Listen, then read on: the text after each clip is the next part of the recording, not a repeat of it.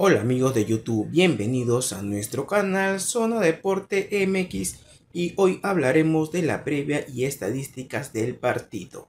Hoy 8 de octubre Atlético Bucaramanga recibirá a Millonarios por la vuelta de la Copa Colombia B-Play Di Mayor 2024.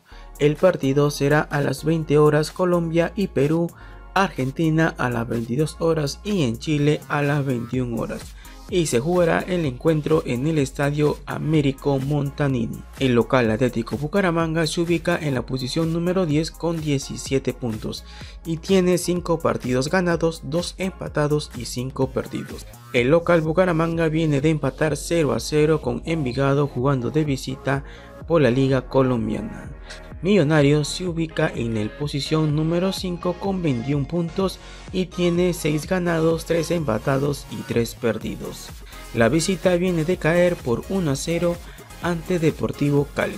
Sus últimos enfrentamientos entre ambos equipos, Bucaramanga viene con 10 victorias, Millonarios viene con 21 y empates entre ambos 15 empates. Su último partido fue el 1 de octubre del 2024 por Copa Colombia y empataron 0 a 0. Luego el 20 de julio por el clausura 2024, Millonarios le ganó 1 a 0 al Atlético Bucaramanga. Luego en la apertura por los playoffs el 21 de mayo del 2024 empataron 0 a 0. El 19 de mayo del 2024, Millonarios jugando de local perdió por 0 a 1 ante Atlético Bucaramanga. Y el último 28 de enero del 2024 por el Apertura Colombia empataron 0 a 0 Bucaramanga jugando de local. Último resultado de Millonarios viene de ganar de visita a Deportivo Cali por la Liga Colombiana. Luego por la Copa Colombia empató 0 a 0 con Bucaramanga jugando de local.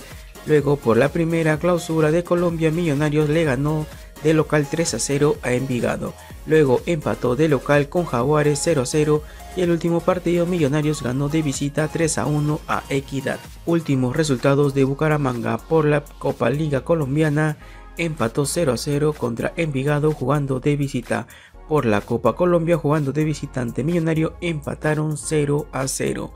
Luego por la Liga Colombiana Atlético Bucaramanga le ganó de visita por 1 a 0 a la Equidad. Luego jugó de local ante Atlético Nacional y ganó por la mínima diferencia de 1 a 0. Luego fue de visita a Patriotas donde ganó por 2 a 1.